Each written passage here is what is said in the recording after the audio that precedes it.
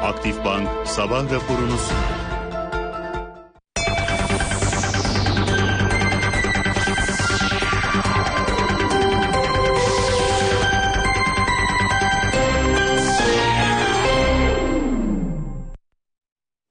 Sabah raporuna hepiniz hoş geldiniz. Ben Açıl Sezen, Cüneyt Başaran ve Gökhan Şen'le birlikte piyasalardaki gelişmeleri değerlendirip yorumlamak üzere yeniden bir aradayız. Hoş geldiniz arkadaşlar. Merhaba, günaydın. Önce Ankara'nın dünüyle başlamak lazım herhalde. Cüneyt Başaran dün Ankara'daydın sen de. Teşvik paketiyle ilgili toplantıyı izledin, takip ettin. Oradan çıkan sonuçlar gündemin en önemli maddelerinden bir tanesi olacak. Bir yandan bunu takip edeceğiz. Diğer yandan dün Rusya üzerinden gelen e, ciddi anlamda bir soğuk hava dalgası diyebiliriz herhalde. Çünkü ciddi şekilde e, varlık fiyatlarını negatif etkiledi. Hem Rus varlıklarını hem beraberinde yine gelişen ülke kurlarını dün dolar TL'de biz 4.07'lerin üstünü gördük. Şu anda da hemen hemen aynı yerlerden işlem geçtiğini gözlemliyoruz. Dolayısıyla bir yandan bunu takip edeceğiz. Diğer yandan Amerika Birleşik Devletleri'nde ticaret savaşlarına ilişkin kaygı, bir yandan Trump'ın özel avukatının e, ofisinin basılması FBI tarafından, diğer yandan Xi Jinping'den gelen açıklamalar gibi farklı başlıklarımız da var. Ama bir düne dönelim. Özellikle süper teşvik paketine ilişkin detayları hatırlayalım. Sonra biraz Cüneyt Başaran'ın izlenimlerini alalım. Daha önce hiç düşünülmemiş, uygulanmamış ve sağlanmamış teşviklere ihtiyaç var. Bir buçuk milyar liralık yatırımıyla proje bazlı teşvik sistemi kapsamında desteklenecek firmalar belli oldu. 2017 yılında hazırlıkları tamamlanan yatırımlara teşvik belgesi dağıtım töreni Ankara'da Cumhurbaşkanı Recep Tayyip Erdoğan, Başbakan Binali Yıldırım ve Ekonomi Bakanı Nihat Zeybekçi'nin katılımıyla gerçekleştirildi. Alüminyum yassı mamul üretimi yatırımı tamamlandı. Törende konuşan Erdoğan'ın gündeminde bir kez daha faiz oranları vardı. Yatırımların artırılması için en büyük etkenin faiz oranlarının düşürülmesi olduğunu söyledi. Faiz oranlarını aşağı düşürmedikten sonra konuşmamın başında söyledim ya yatırım dedim. Bu yatırım yapılabilir mi?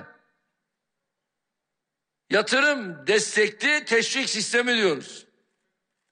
E burada neyi sağlayacaksın?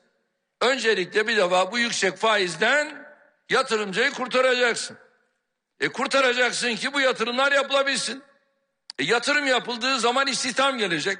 İstihdam olduğu zaman üretim olacak. Üretim olduğu zaman ihracat olacak. Başka türlü bunlar olmaz.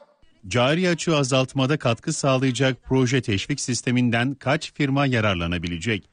Projenin toplam bedeli ne kadar olacak? Erdoğan o sorulara da yanıt verdi. 19 firma teşvik belgesi diye ifade edince sıradan bir hadiseymiş gibi görünüyor.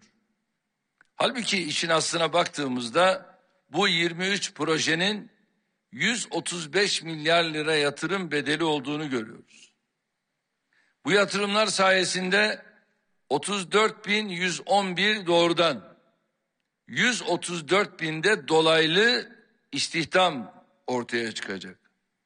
Yine bu yatırımlar ihracatımıza 6 milyar 318 milyon dolarlık katkı sağlarken ithalatımızın da 12 milyar 312 milyon dolar azalmasını temin edecek. Böylece geçtiğimiz yıl 47 milyar dolara ulaşan cari açığımızda 19 milyar dolarlık bir iyileşme sağlamış olacağız. Teşvikten yararlanacak firmalara sağlanacak destekleri ise Başbakan Binali Yıldırım anlattı. Gümrük vergisinde istisna getiriyoruz. Yatırım kapsamında makine teçhizata KDV istisnası getiriyoruz. Bina inşaat harcamaları için KDV iadesi yatırım tutarının ikisine iki katına kadar kurumlar vergisi indirimi veya 10 yıla kadar kurumlar vergisi istisnası getiriyoruz. 10 yıla kadar sigorta primi işveren desteği sağlıyoruz. 5 yıl nitelikli personel desteği, 10 yıla kadar gelir vergisi stopajı istisnası getiriyoruz.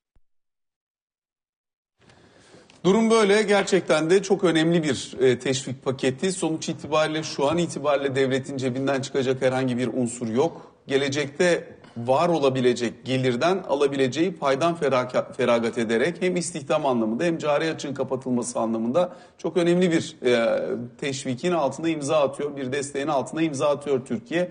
Projeler gerçekten de Türkiye'nin e, önemli eksik alanlarını kapatma potansiyeline sahip olan projeler. inovatif olanları var, e, istihdam yükünü taşıyacak olanları var, açık azaltıcı olanları var. Dolayısıyla belki de son yıllardaki en değerli teşviklerden bir tanesi olduğunu söyleyebiliriz herhalde. Evet bence de e, Türkiye'nin herhalde 2018 ve sonrasında eğer gelişmelere bir parça daha e, geriden takip etmek değil de önlem almak amacıyla bir şey yaptı mı diye sorulacak olursa proje bazlı teşvik sistemi hakikaten burada örnek gösterebilecek bir uygulama olarak öne çıkıyor.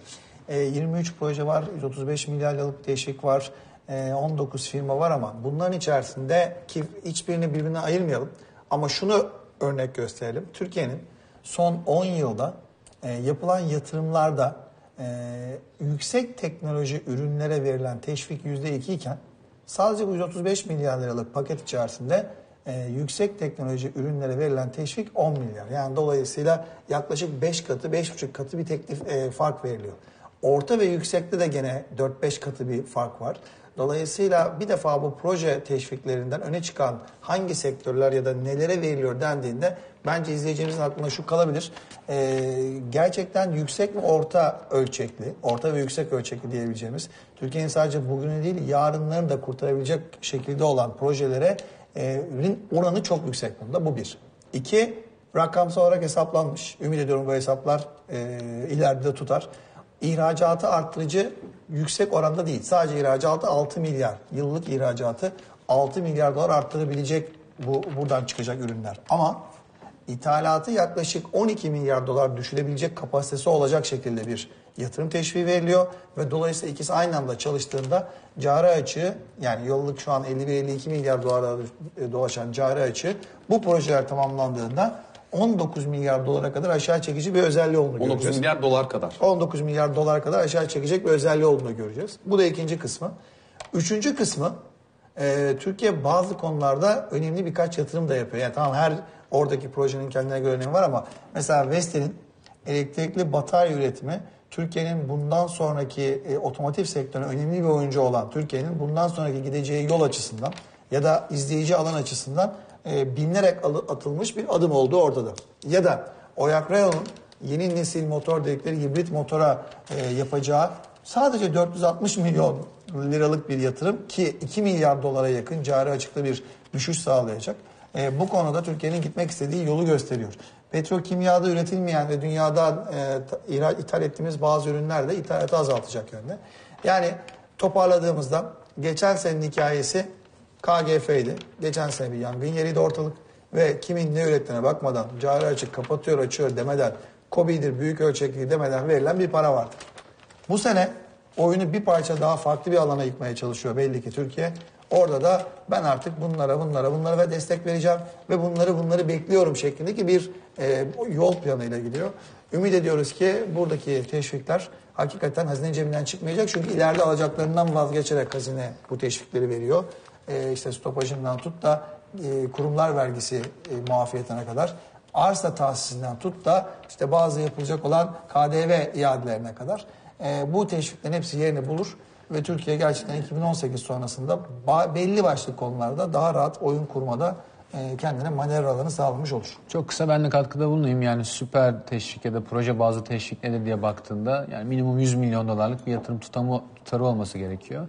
Ve sen bu yatırım yaptıktan sonra da e, ya Türkiye'nin cari açığını kapatacak ya üretilmeyen bir şey üretecek ya da teknoloji seviyesini artıracak, teknoloji transferini sağlayacak bir üretim yapmış olman lazım. Birkaç tane maddeyi aynı anda kutucuğu doldurursan e, bu kapsama girebiliyorsun. Yani böylece tanımlayabiliriz. Dolayısıyla ABC kişilerin başvurusundan çok bu kapsama girecek projelerin içinde olduğu bir paket olarak bakmak lazım öncelikle.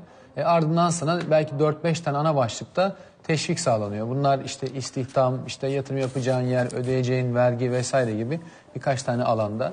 E, aldığın arsanın dahi işte yıllar boyunca senden bilabedel e, sana tahsis edilmesi, enerji maliyetlerinin yarısına kadar belli bir noktaya kadar karşılanması gibi bir sürü teşvik var. Dolayısıyla senin üretim maliyetlerin iyiden iyiye düşmüş oluyor. E, bu tabii ki devletin bazı alacaklarından vazgeçmesi demek ama yani orijinal noktaya dönersen sıfır noktasının aslında böyle bir yatırım yok. Olduktan sonra alacaklarının bir kısmından vazgeçiyorsun. Dolayısıyla bütçeye bunun ben olsa olsa pozitif etki yapacağını tahmin ederim. Çünkü doğrudan 30 bin, dolaylı olarak da hadi diyelim 130-140 bin istihdam yaratıldı. E, öncelikle buradan toplanacak vergiler, işletmelerin ekonomik aktiviteye katkısı ve yan sektörlere katkısıyla büyük ihtimalle pozitif bir şey ortaya çıkacak. Dolayısıyla da bütçeye etkisini olsa olsa pozitif hesaplarız. Ama herhangi bir hesap yapmak güç şimdiden. E, onu söyleyebilirim. E, kabaca böyle. Cüneyt zaten saydı, oradaydı, havasını da aktardı. Oldukça önemli. E, Türkiye'nin belki de daha önce üretim yapmamış olduğu alanlara girmesini sağlayacak. Ya Türkiye'nin almak zorunda olduğu ama Türkiye'de üretilemeyen malların burada üretilmesini sağlayacak.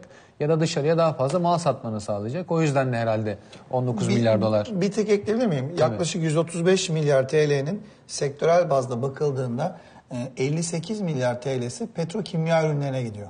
Yani Türkiye'nin hemen hemen tamamını ithal ettiği e, ürünlerin Türkiye'de yapımı aşamasında ne yapılabilir? Mesela bunlardan bir tanesi siz de dün yayına Medcap. aldınız. Medcap e, tam e, petrokimya ürünü ama aslında petrol kullanmadan gaz kullanımı sonrasında bazı petrokimya ürünlerinin e, üretilmesi ve bunun ithalatının engellenmesi yolunda. Ama petrol değil doğal gazı kullanarak. Polipropilen ve polietilen. Aynen öyle bravo. Bravo.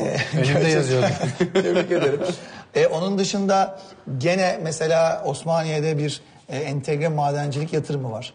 E, Tosyalı grubunun. Bu da direkt olarak cevherden e, üretimle e, demir çeliğe geçecek bir sistem yaratıyor. Ve bu açıdan baktığımızda eğer geçen sene bu ülke 250 milyar liralık KGF kredisinin 220 lirasını kullandırttıysa ve eğer buradan sonra gene herkesin bu KGF kredilerini kullanması, gene herkesin tam olarak peşinin takip edemeyeceği başka teşvikleri kullanması, gene herkesin sadece istihdam yaratılacak diye kısıtlı kaynakların ve bugün olan kaynakların kullanılması konusunda bir yola gideceğine bunlardan fedakarlık edecek ya da daha farklı bir şekilde bilinçli bir şekilde ileriye doğru dönük bazı e, alacakları şimdiden ben sana bunları almıyorum. Sen yeter ki bu yatırımı yap ama kafana göre yatırım yapamazsın. Şu sektörde yatırım yap ve şu şekilde üretim yap denilerek baştan belirlenmiş olması bence Türkiye için önemli bir adam. Dün de orada e, bütün STK'larından hakikaten sadece teşvik alan değil e, normalde tanıdığımız ettiğimiz birçok iş, iş insanı da oradaydı.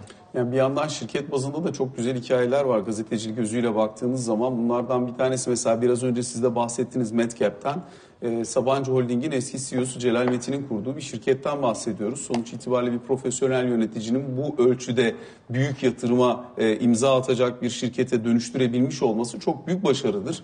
E, sonuç itibariyle profesyonellerin gelebileceği noktanın görülmesi açısından bence çok değerli, çok önemli bir. İkincisi Leyla Hanım dün zaten konuğumuz da oldu. E, Leyla Ağlaton onun e, İtalya'daki şirketini Doğru. Türkiye'ye getiriyor olması son derece önemli. Alvi Medica. Evet. So- e, Sasa'nın yine geçtiğimiz dönemde Sabancı Holding'den sonra el değiştirdikten sonra iş planını değiştirmesi, şirketin büyümesi, piyasa değerinin yükselmesi, bunun ardından almış olduğu teşvikle şimdi daha farklı bir iş modeline yönelmiş olması bir şirketin dönüşüm halinde ne kadar başarılı olabileceğinin göstergelerinden bir tanesidir. Dolayısıyla aslında genel olarak keza yine Vestel için aynı şeyler söylenebilir. Çinlilerle kurdukları ortak pil teknolojisi içeren şirket Aynı zamanda yerli otomobil için alınan şirket BMC'nin geçmişte Kara Mehmet döneminin ardından e, neredeyse gerçekten çok zorlu batma dönemine gelmişken kirpi araçlarıyla hayata dönmesi, sonrasında TMSF'nin el koyması, daha sonrasında el değiştirmesi, el değiştirdikten sonra bugün gerçekten savunma sanayinin en büyük şirketlerinden birine dönüşmesi. Bunların hepsi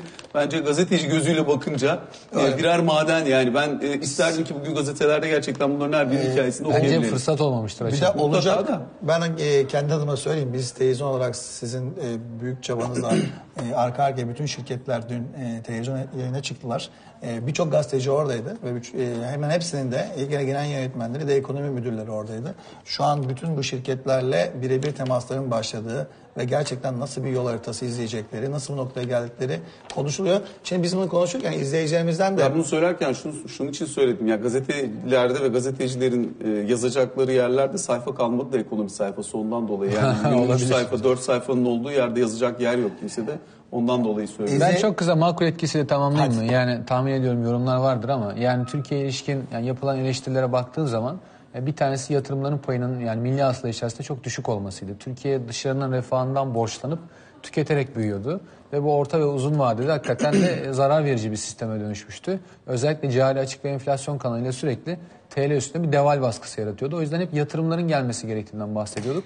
2-3 çeyrektir yatırımlar geliyor.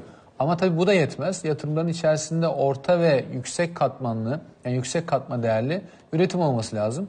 Dün verilen teşviklerin %75'inin bu sınıfa girdiğini görmek bence çok önemli. E, o yüzden Türkiye'nin uzun vadeli sorunlarını tespit eden, oraya dokunan e, bir paket. Yani Türkiye'de hem yatırım olmalı hem de orta ve üst e, segmentte katma, katma değerli yatırım olmalı dediğimizde bu iki tarafa da dokunuyorsa e, buna destek vermek gerekir. iyi konuşmak gerekir. Dolayısıyla biz de oldukça e, olumluyuz bu anlamda. Hele ki cari açığı hesaplar tutar da 19 milyar dolar aşağı çekebilirse ki bunun 2-3 yıl içerisinde olabileceğini söylüyor Ekonomi Bakanı Nihat Zeybekçi. Bu bence çok daha önemli olur. Türkiye'nin şu an cari açığı kabaca 50 milyar dolar. Yani hiç olmasa 10-15 milyar dolar indirse Türkiye'nin üzerinden yük kalkmış olur. Az buz iş değil. Dolayısıyla takdir etmek, destek vermek gerekir. Bence böyle Şimdi zamanlarda. izleyicilerimiz e, hem anladığım kadarıyla hem konuyu dün dinlemişler, seyretmişler ama bir yandan da bazı konulardaki en- endişelerini ifade ediyorlar. Mesela bir izleyicimiz diyor ki e, inşaat sektörüne zamanında bu kadar yüklenilmeseydi, bunu daha önce yapsaydık şimdi bu projelere daha rahat geçiş yapardık diyor. doğrudur. Bence de haklı. Ee, inşaat sektörü Türkiye'nin o önemli bir sektörü, lokomotif sektörü, o bu hepsi doğru. Gerçekten de hem istihdama katkısı, hem e, çarpan etkisi, hem farklı sektörleri yanında taşıyor olması eyvallah. Ama Türkiye'nin artık inşaat sektörüyle büyüme konusunda ısrarcı olmadığı ve mesela bugünkü 23 projenin hiçbirinin içerisinde ha büyük oranda inşaat sektöründen yapılacak olan bir binadan bahsediyoruz demediğimizin farkındayız ama daha önce yapılması konusundaki fikriyatına ben de katılıyorum. Bir başka izleyicimiz diyor ki e, bunun hiç bütçeye yan etkisi olmayacak mı? Bütçeye yan etkisi olduğunu ne diyeceksiniz diyor. Şu anda olmayacak. Bugün değil. Ama buradan sonra bu yatırımlarla ilgili alacağımız, toplayacağımız geliri toplamayacağımız için, KDV'lerini iade edeceğimiz için bir miktar alacağımız gelir vergilerinden kayıplarımız olacak. Ama Yani sen eğer- bunu vermesen gelecekte Ha. o gelir oluşmayacak Aynen. belki. Birebir de seçilerek, nokta atışı yapılarak, ince eleyip sıkı dokularak verilen bir teşvik olduğu için e, bu tür teşvikler dünyanın her yerinde vardır. Ve en nihayetinde hem yaratacağı 35 bin kişilik istihdam ama daha da önemlisi hakikaten senin cari açına direkt olarak katkı sağlayabilmesi açısından da e, bazı kalemlerde bütçeden fedakarlık etmenin çok mantıksız Yani olmadığını düşünüyorum. örnek olarak Güney Kore gösterilir ya. Yani Güney Kore'nin işte devlet özel sektör modeli işte. kapitalizmiyle büyümesi de böyledir. Yani dolayısıyla hani orada da baştan karşı çıksan Güney Kore olmazdı. Bu bizi Güney Kore yapmayacaktı mutlaka ama doğru yönde bir adım olarak görmek gerekir. Ee, kafalarda soru işaretleri olması normaldir ama dediğim gibi yani, çok- Yani o, oradaki soru işaretlerinin kökü de daha önce verilen teşviklerin yerine gitmiyor olduğuna dair genel kanıdan kaynaklanıyor. Burada insanları da haklı olarak görmekte fayda var. Çünkü gerçekten çok denendi bu noktaya gelene kadar ama bu projelerin hakikaten bu teşvik sisteminin diğerlerinden farklı olduğunu, devletin kasasından verilen bir e, para bulunmadığını, sadece gelecekte oluşabilecek katma değer için bugünden hazırlanmış bir ortam olduğunu söyleyebiliriz. Rahmetli Süleyman Demirel'in Ford Otosan'ın kuracağı fabrika için e, SEKA arazisi verileceği dönemde gerekirse Çankaya Köşkü'nün bahçesini veririm e, ifadesini hatırlarsanız buradaki onun biraz daha gelişmiş versiyonudur. O gün bataklık olan o SEKA arazisinde bugün Türkiye'nin en büyük fabrikalarından bir tanesi yükseliyor ve gerçekten her sene milyar dolarlık ihracat gerçekleşiyor. Dolayısıyla böyle baktığınız zaman bu projelerinde o seviyeye ulaşması en önemli temennimiz. Zaten bunun için yapılıyor bütün bunlar. İki üç küçük şey ekleyeyim. yani bunları konuştuktan sonra bu tip büyük paketlerin açıklandığı dönemler genellikle hep itici güç olarak olmuş. Yani yaşı yetenler e, yaşadıkları için bilirler. Yetmeyen benim gibiler de okuyup biraz etüt ettikleri için bilirler. İşte Özal dönemine biraz daha geriye dönebilirsin. Hakikaten çok canlandırıcı etkisi olmuştur. E, bu da öyle olacak mı bir izlemek lazım. Bu bir. İkincisi biraz daha teknik tarafından bu projeler acaba ne kadar zamanda hayata geçer? Çünkü bunun hem makro etkileri olacak hem sektörel etkileri olacak. Analiz etmemiz bakımından ona hem bakmak lazım. Bir de finansmanı tarafı. Ee, yani çok kabaca 135 milyar hadi işte Diyarbakır'ı da koyarsan e, 138 milyara tekabül ediyor. Türkiye'de ya da dünyada ortalama 30 öz sermaye 70 de borçla iş yapıldığını düşünürsen kabaca bir 90 milyar TL'lik finansman gerekir. Yurt dışından ne kadar destek gelirse bence o kadar daha olumluya döneriz. Burada Cumhurbaşkanı'nın ifadesi bu projelerin ya tamamının yurt dışından ya da minimum yarı yarıya yurt dışından finansman sağlanarak yapılacağı konusunda bir beklentilen oldu. Ama bu Proje- sağlanır da yani böyle yapıldığı bu, konusunda. bu sağlanır da çünkü e, özellikle işin içerisinde bu kadar devlet teşvikinin olduğu, bu kadar fazla imtiyazın sağlandığı projelerin finansman bulması çok zor değil. Yurt dışından sağlanma potansiyelinin kuvvetli olduğunu düşünüyorum birçok proje için. Ha şimdi bu olursa yani benim ka- bakkal hesabıma yaklaşık 90 milyar TL yani 135'in %75'ini %70'ini aldım. 90 milyar TL'nin diyelim ki 30-40 yani 10 milyar doları kabaca yurt dışından gelirse başta başına olumlu olur bir kere. Hem TL fonlamayı rahatlatır hem döviz girdisi sağlar finansmanda. E, hem de daha ucuza mal olmasını sağlar büyük ihtimalle. O yüzden çok olumlu olabileceğini tahmin ediyorum. E, yeter ki öyle olsun. Bir de o tarafını teknik olarak izlemek lazım. Son olarak bir de Turgut Özal dönemindeki mesela buna benzer turizm teşviklerini verebiliriz. Dün radyoda da aktardık. O dönemdeki o arazi tahsisleri, o dönemde sağlanan avantajları olmasaydı Türkiye acaba bugün özellikle Akdeniz sahillerinden elde edebildiği bu kadar turizm gelirine ulaşabilir miydi? Bunların hepsine e, bu gözle bakıp değerlendirmek lazım. İyi bir teşvik geçmişimiz olmadığını da hatırlıyoruz. Ama bu seferki bu proje e, ve bu proje bazlı destek sistemi e, bence biraz daha üzerine konuşulmayı hak ediyor diyelim. Son 15 saniye eklemeye hakkımı kullanacağım. Benim görebildiğim bir hani şu da olsa çok iyi de olur diyebileceğim tek şey eee, Türkiye'de iş yaptığını bildiğimiz, Türkiye'de mal satan, Türkiye'ye hiç yabancı olmayan batılı teknoloji yoğun şirketlerin herhangi bir ortaklıkta şu an için görünmüyor olmaları. E, ismi dolaşan şirketler vardı. Amerikalı veya Alman, e, Fransız. E, bunların şu an bu konuda biraz e, çekimser kaldıkları görüldü. Ankara'da bu kulisler de yapılıyordu. Belki ilerleyen zamanlar içerisinde e, yapılan teşviklerde ortaya çıkan ürünler ya da alınan yol mevzi onların da ilgisini çeker. Çünkü kendilerinin de faaliyet alanları olduğu alanlarda aslında birçok iş yapılmış. Onları pek göremedik bu seferki pakette. Peki kısa bir araya gidelim. Aranın ardından sohbetimize kaldığımız yerden devam edelim. Aktif Bank'ın sunduğu sabah raporu devam edecek. Aktif Bank'ın sunduğu sabah raporu devam ediyor.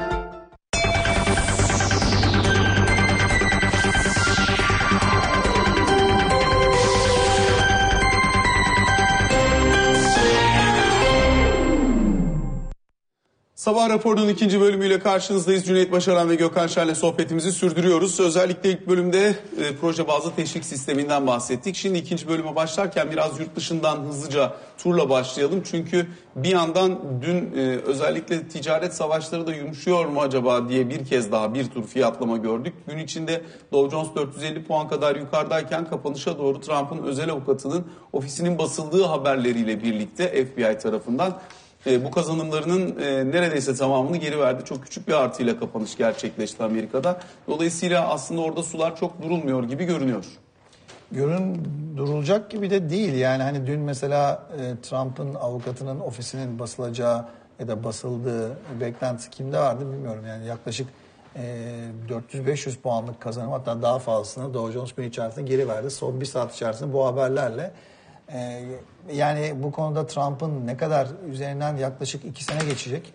E, bir buçuk sene geçti ve e, neredeyse yarı zamanını tamamlayacak başkanlıkta. Hala daha Trump'ın çevresinde e, seçimlere Rusya etkisi ne oldu? E, ve işte bu seçimlerin etrafında alınan şeyler, bağışlar vesaireler nelerdi gibi konularda bitmek bilmeyen bir çevreme var, sorgulama var ve kuşatma var.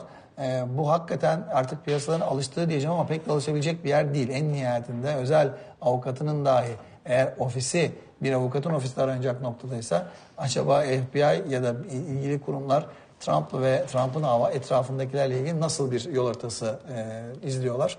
O önemli. Ama dün hani ben bir yandan kongre, e, teşvikleri takip ederken bir yandan şöyle genel bir haberlere baktığımda tam senin dediğin gibi hakikaten neresinden tutacağını bilemediğiniz bir gündü. Bir anda Rus hisselerinde Rus borsasına %9'luk 10'luk bir aşağı geliş. Çünkü hafta sonu Rusya'ya yeni yaptırımlar gelmiş ama daha ötesinde Amerika demiş ki e, Rusya'nın kontrolündeki olan bölgeyi 48 saat içerisinde ya da 24 saat içerisinde neyse cevabı vereceğim.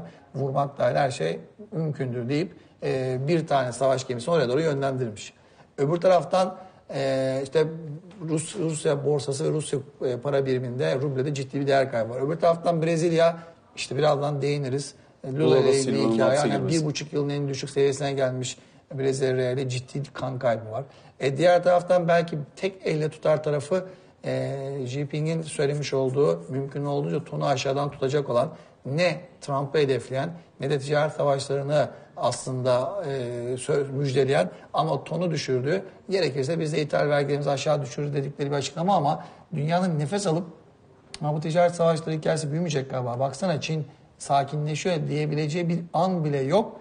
Ya dediğimiz gibi gelişmekte olan ülkelerde kaynaklanan ya da Amerika'dan yeni bir salvoyla piyasaların e, çe- çerçevelendiği bir haldeyiz.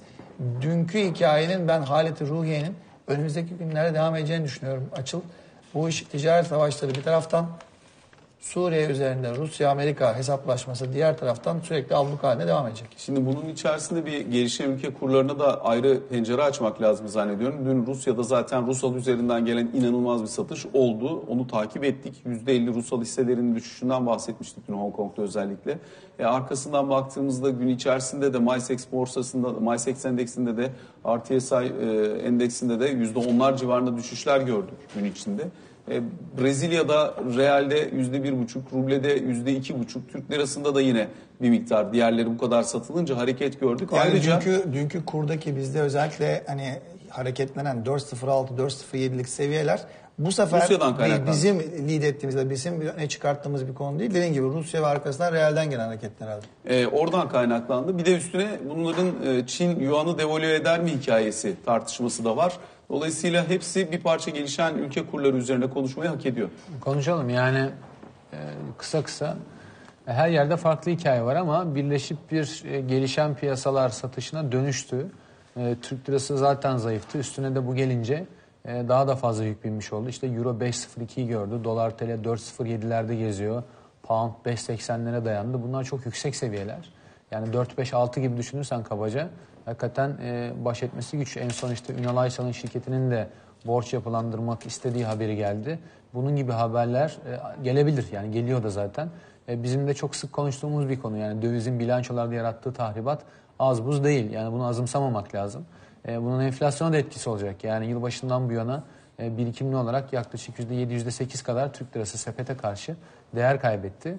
E, bir 2-3 puan daha gitmesi demek e, yani reel olarak da artık değer kaybetmesi demek ki orta vadeli programda bizim hedeflediklerimiz yerler bunlar değildi. Orta vadeli programda 2020 hedefi e, yani hedefi derken çalışılan kur 4.02.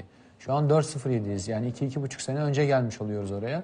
E, bu ciddi bir e, hesap hatasına ve makro dengelerdeki bizi başka yere götürecek şey işaret ediyor. Bu işin Türkiye kısmı. E, Rusya'da tabii Ruzal'a gelecek e, yaptırımlar çok ciddi. Yani çok açık şekilde Ruzal'ın bonolarını elinizde tutmayın. Var olanları rol etmeyin, yenilemeyin demek bu. Ve işte Ruzal'a azıcık bile kredi vermiş olan Siberbank yani en büyük kreditörü ama kendi aktifleri içindeki payı %2,5 olmasına rağmen dün Siberbank %20 değer kaybetti. İşte Denizbank'ın ana Direkt Siberbank'a bir şey olmamasına rağmen e, Evet yani dediğim gibi toplam asetlerin içinde yüzde iki buçukluk paya sahip sadece e, Ruzal'a verdiği kredi. Buna rağmen yüzde yirmi. E, Ya büyük bir panik var. E, Ya belki Siberbank fiyatlaması geri dönebilir bilmiyorum. Ya Glencore mesela %8.75'ine sahip. Orada da dün %5, %6'lık düşüş oldu. Düşüş oldu. Hadi o makul diyelim yani şirket ortağı ama mesela işte JP Morgan, Vanguard Asset Management gibi şirkete ortak olan ya da bonoları elinde bulunduran kurumlar için e, bundan sonra çok net şekilde yapmayın demek. Yani dün sabah da konuştuk. Buraya gideceğinden bahsetmiştik. Çünkü öncekiler biraz daha çimdik atma, makas alma filan da yanaktan.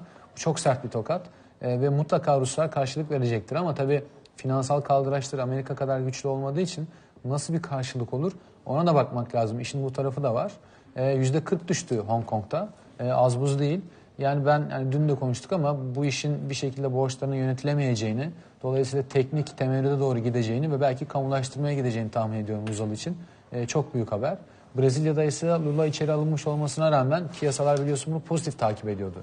Çünkü kendisi aday olamayacak. Dolayısıyla da reformlar sürecekti ama yani ortada kimin aday olacağına dair e, Bu sefer herhangi- politik belirsizlik ortaya. Ha, dolayısıyla baskı sürüyor ve buna rağmen mesela Moody's dün gelip görünümü e, durağına revize etti. E, çok enteresan yani derecelendirme kuruluşlarını savunanların okuması gereken bir metin. Çünkü şöyle söylüyor. Kim gelirse gelsin reform yapacaktır. Yani nereden biliyorsun? Yani yıllardır kimsenin yapmadığı reformu yeni gelen kişinin yapacağını yapmak nereden biliyorsun? zorunda olduğu için söylüyor. Yani Ama görünümü pozitif revize O ediyor. kararı- Bizde de yapmak zorundayız ama bazen olmuyor mesela. Yani neyse. Ee, orada da çok ağır sıkıntı var. Mesela İran'a gidiyorsun. İran'dan dün bir parça bahsettik.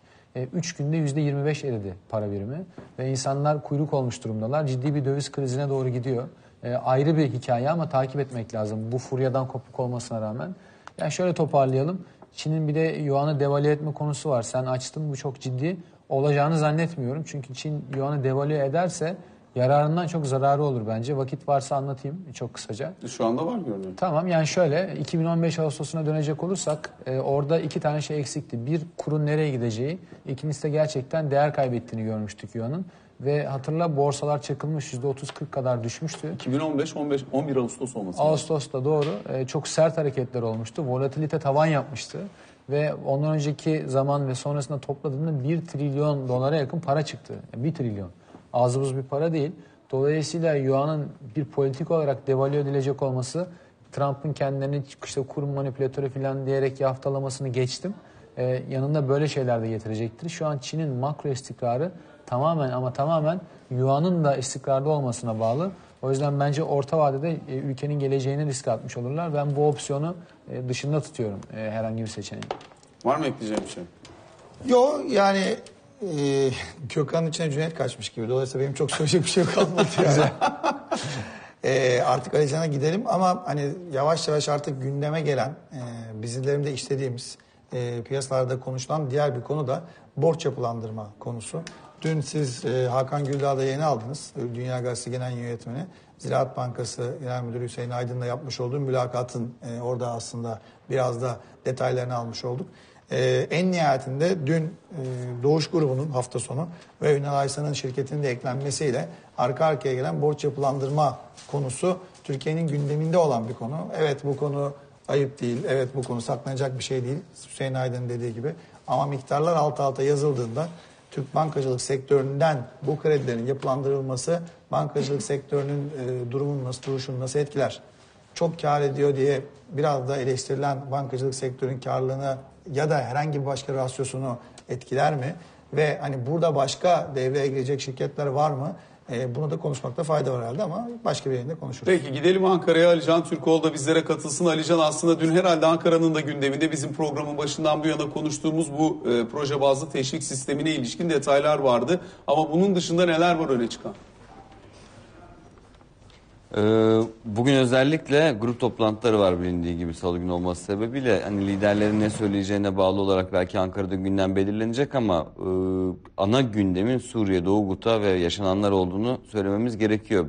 Çünkü belki de en kritik günlerinden birini yaşıyor. Bugün Suriye'deki savaşla ilgili olarak tüm dünyada dün Amerika Birleşik Devletleri'nden gelen açıklamalar doğrultusunda bugün nasıl adım ne gibi adımlar atılacak, atılacak mı atılmayacak mı bir yandan diplomasi ilerliyor e, arka kapı diplomasisi dediğimiz görüşmeler devam ediyor ülkeler arasında ama dün Birleşmiş Milletler Güvenlik Konseyi'nde konuşulanlar ki Amerika Birleşik Devletleri ile Rusya'nın birbirlerini e, sert sözlerle suçladıklarını e, Doğu Kuta'daki bu saldırıyla ilgili olarak e, Amerika Birleşik Devletleri başta olmak üzere birçok Avrupa Birliği ülkesinin e, rejimi suçladığını ve bunun karşılığında bir e, şey yapılmalı, adım atılmalı yönündeki tavırlarını gördük dünkü toplantı sonrasındaki Suriye'nin temsilcisi konuşurken de birçok ülkenin zaten salonu terk ettiğini de gördük. Ama asıl e, olay Trump'ın yapmış olduğu açıklamalar sonrasında gerek Amerikan Savunma Bakanı Mattis'in gerek Amerikan Genelkurmay e, sözcüsünün sözcülüğünden de gelen açıklamalarda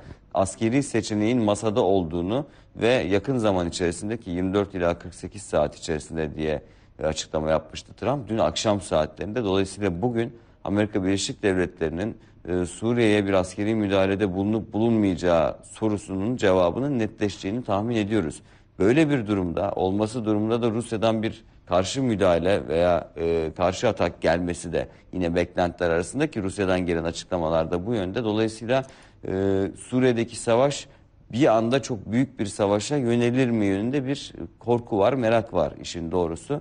Beklentiler bugün itibariyle ana gündem beklentisi aslında bu Amerika Birleşik Devletleri'nden bu konuyla ilgili ne açıklama geleceği yönünde. Dün akşam Bakanlar Kurulu toplantısı sonrası bilindiği gibi hükümet sözcüsü Bekir Bozdağ'dan da bu konuyla ilgili açıklamalar geldi. e, ciddiyetle araştırılmalı bölgede neler yaşandığı yönünde Türkiye'nin görüşü bu yönde. Her ne kadar e, istihbarat teşkilatından gelen bilgiler ve bölge kaynaklarından Türkiye'ye gelen bilgiler bir kimyasal saldırı olduğunu net bir şekilde ortaya koysa da iyice araştırılmalı, soruşturulmalı, kim tarafından yapıldığı e, net olarak e, açıklandıktan sonra gereken adımlar atılmalı yönünde bir tavrı var Türkiye'nin şu an itibariyle. Ama bugün e, gerek Amerika Birleşik Devletleri'nden, gerek rejimden, gerek Rusya'dan, İran'dan artık bölgede işte güce sahip olan, etkisi olan tüm ülkelerden gelecek açıklamalar belki de e, Suriye'deki krizin, savaşın ne yöne evrileceğini bugün en net şekilde ortaya koyabilir. En e, merak edilen, hatta savaşın büyüyeceği düşünülen gün bugün aslında. Dolayısıyla bugün o açıklamalar aslında günden belirleyecek. İçeride ise az önce de söyledim e, grup toplantılarında liderlerin yapacakları açıklamalara göre belki günden belirlenecek ama bir dün açıklanan teşvik paketinin yankıları bugün e, gerek Cumhuriyet Halk Partisi grubunda gerek AK Parti grubunda gündem olacaktır. Çünkü Cumhuriyet Halk Partisi ekonomi üzerinden de hükümeti eleştiriyor bilindiği gibi. Dünkü teşvik paketinden sonra Cumhuriyet Halk Partisi'nden ne gibi açıklamalar gelecek bu bekleniyor siyasette. Yine Adalet ve Kalkınma Partisi'nin grup toplantısında ise AK Parti e, Genel Başkanı sıfatıyla Cumhurbaşkanı Recep Tayyip Erdoğan bir konuşma yapacak ve yine ekonomiyle ilgili önemli mesajlar vermesini bekliyoruz. Grup toplantılarının yanı sıra bir yandan ittifak konusunda Ankara'da konuşmaya devam ediyoruz. E, geçtiğimiz hafta içerisinde de konuştuk. Cumhuriyet Halk Partisi'nin diğer siyasi partilerle gerek genel başkan düzeyinde gerek heyetler arasındaki toplantılarla ittifak konusunda görüşmelere başlayacağını söylemiştik. Kendi milletvekilleriyle görüşmeler tamamlandıktan sonra Demokrat Parti ile bir görüşme olmuştu.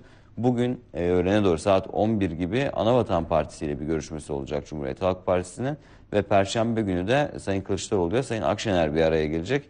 Cumhuriyet Halk Partisi İyi Parti görüşmesi de gerçekleştirilecek. Dolayısıyla iç siyasette de e, ittifak konusu sıcak gündem başlıklarından biri olmaya devam ediyor. Bugün de bu konuyla ilgili açıklamaların gelmesini bekliyoruz. Ama cümlenin başında söylemiş olduğum gibi Suriye konusu bugün Ankara'nın ana gündem maddesi olacak. E, partilerin grup toplantılarında parti genel başkanlarının e, gündeme getirecekleri yeni konularda Ankara'daki yeni maddeler olarak karşımıza çıkabilir. Alican çok teşekkür ediyoruz sana. Aktardığın bu notlarla birlikte biz de sabah raporunu tamamlıyoruz. Kısa bir aradan sonra Hande Demirel yatırım bülteniyle karşınızda olacak.